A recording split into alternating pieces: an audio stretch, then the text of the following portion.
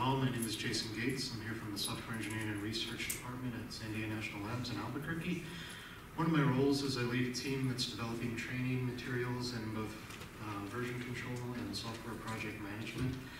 Um, our motivating question was how do, we, how do we make the software side of research better?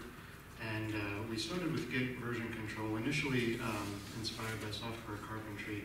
One of the things we found is the carpentries were good at keep, getting